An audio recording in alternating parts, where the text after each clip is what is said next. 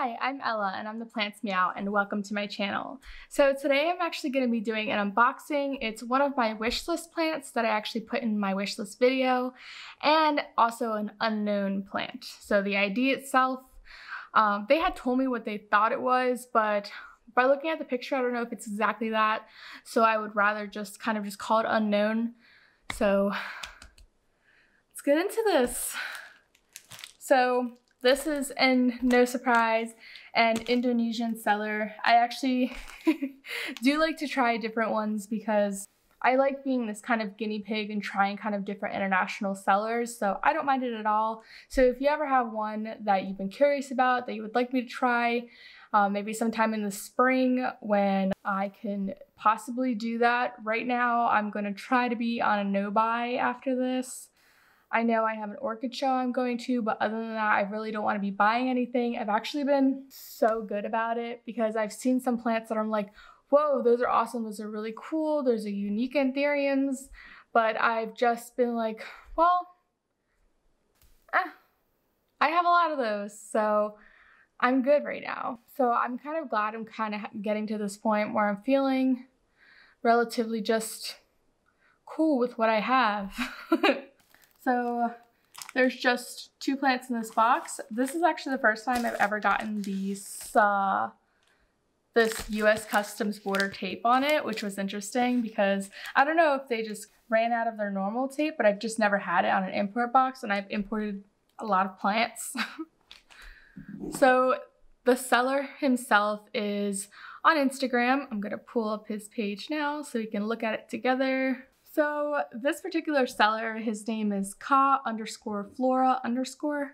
So if you go to his page, it's really nice. He says right in the description, he has phytosanitary certificates, which we all want when shipping international plants. This particular seller does ship DHL, which is awesome because that's the only way I'll accept international orders. Also, just a side note here, if you are looking to get a really big plant imported, sometimes they won't ship DHL because it's just too expensive.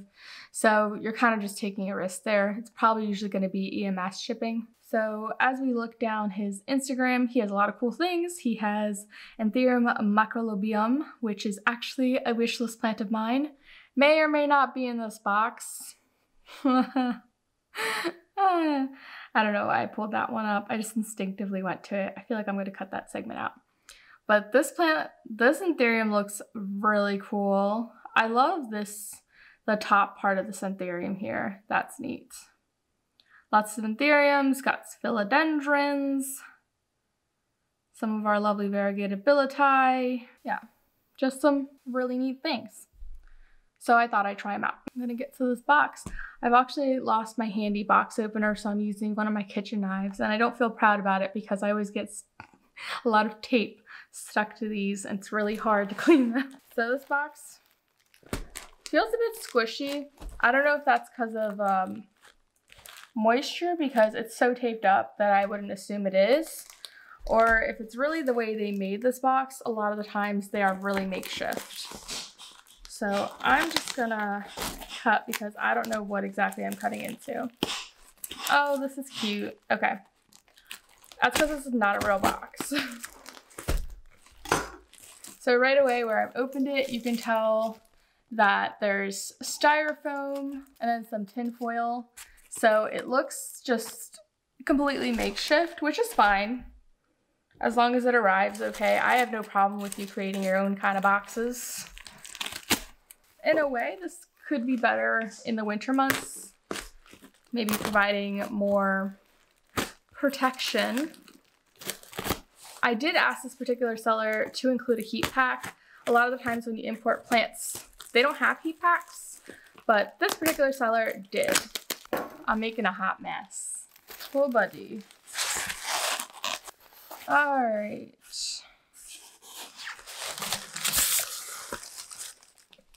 So here is my wish list plant or not.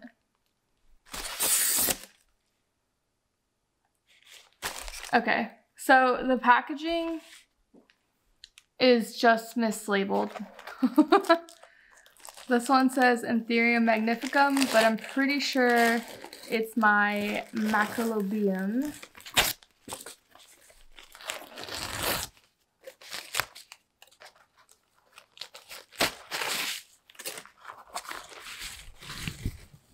Yes, it is. Wow, she's really stunning. I really, really like the look of this plant. The edges are what drew me to her. And that was really awesome. Big. All right, so now I'm gonna put her down. Go to my next one. And I'm gonna give you, I'm pretty much gonna clean these up and pot them and I'm gonna give you a much better shot of how they look because it's hard to fully appreciate them when they're bunched up. And there's always like a kind of a smell. I don't know if it's like from them being outside or from shipping, but I don't like it. It's strong. It kind of makes me feel like I'm choking.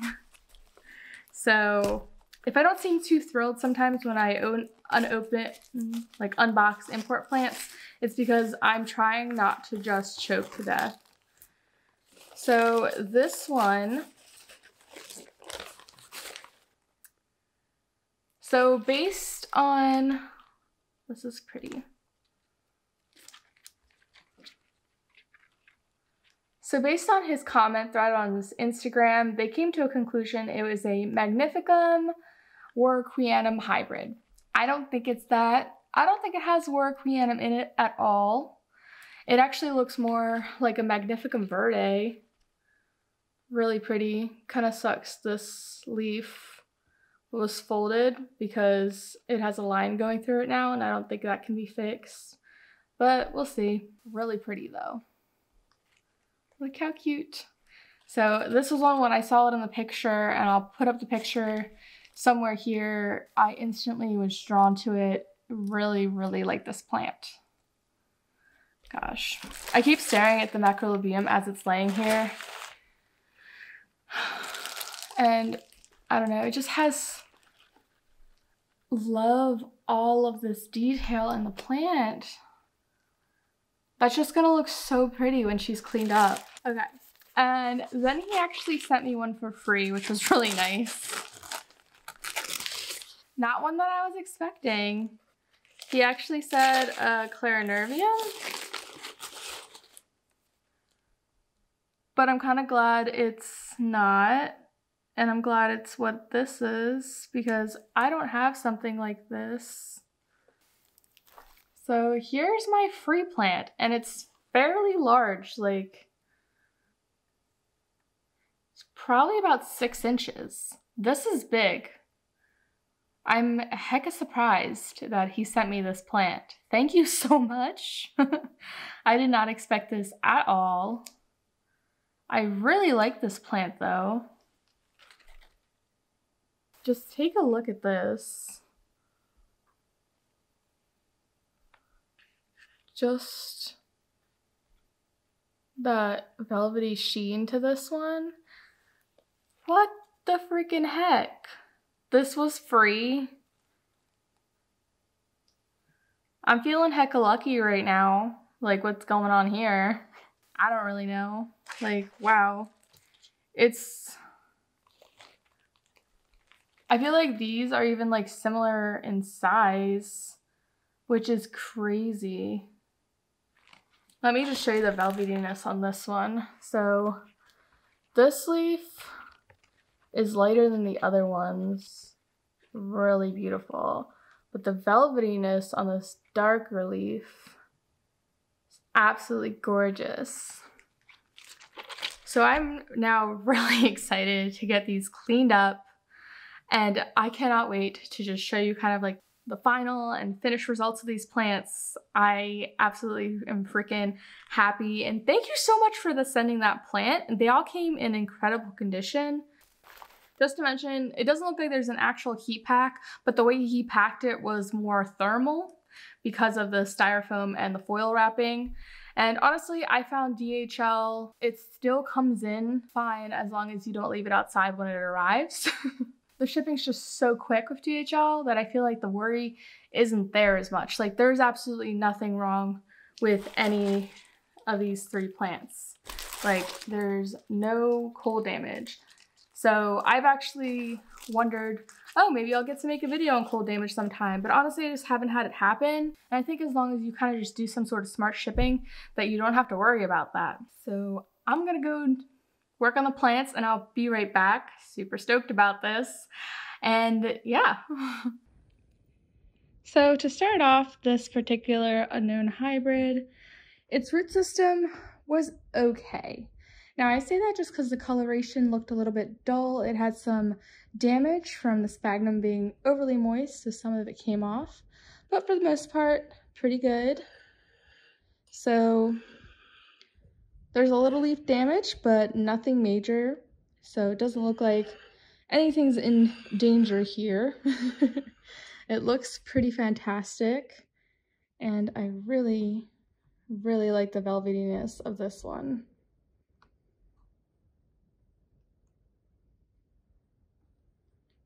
It has a really nice narrow shape, which I like. And then this leaf here, he's the one that suffered the most, but he hasn't hardened off yet. So that is to be expected when leaves have not. But in all, I think he looks pretty good. So in all, the free plant really suffered the most. It had virtually zero roots when I had unwrapped it, so again, that is a result of the sphagnum just being too moist, but it is a free plant, so who am I to complain? so I have it really just being held in there by this bamboo stick. I chose just to still put it in soil instead of sphagnum moss because I still had luck rooting in soil, so hopefully that's okay. I may change my mind later, but I really just wanted to get it potted up. And as you can see, my mix is really airy, so hopefully it just has no trouble forming new chunky roots in that mix. It has three really pretty leaves. This middle one is a little more sickly, so that may be the one that the plant decides to kill. but the other two look pretty okay. It has this interesting like iridescence to it where you can really kind of see the cells in there. It's very interesting. It almost kind of reminds me, it's like a bit alligator-like. And I really like it. So I'm a person that's pretty particular lately about the plants she gets in her collection. so I'm impressed with this one. It's one I would definitely prefer to keep, so I hope it lives. I really, really like it. And I'm so impressed to actually get this plant in general as one that was free. It's picturesque. I absolutely love it. So this Macrolobium is in fantastic shape. The leaves look phenomenal. Doesn't seem to be anything really wrong with them. They do have a, a scale issue, but that isn't surprising with import plants. I've cleaned a bunch of them off. Still have to clean more, but let me just kind of show you. Just in the crevices there, so I usually just spray them with diluted hydrogen peroxide and then kind of just clean them off with a cotton swab. But it's such a massive specimen. I'm thoroughly impressed with that.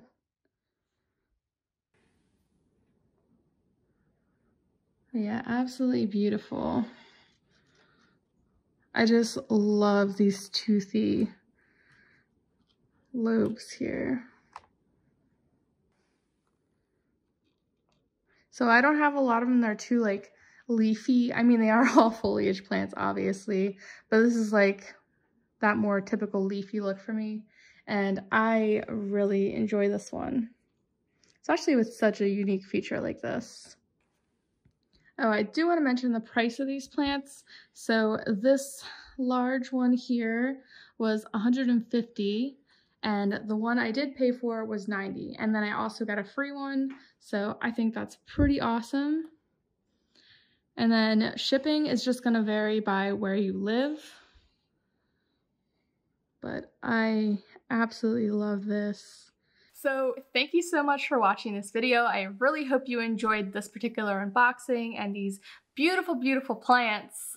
I am so freaking happy with them right now. If so, if you like this video, please give it a like. Please subscribe if you want to see more content. And thank you so much for watching. I would really appreciate any feedback down below, and I hope you have a wonderful week. So I just want to give a little update here. So these are the roots on my unknown hybrid that you can see that I thought were pretty sickly. Not long after this, they did rot off, so it's not doing that great. It actually lost all of its leaves and there's not a lot of stems, so I don't know how much hope I have for this one, but I am trying to root it.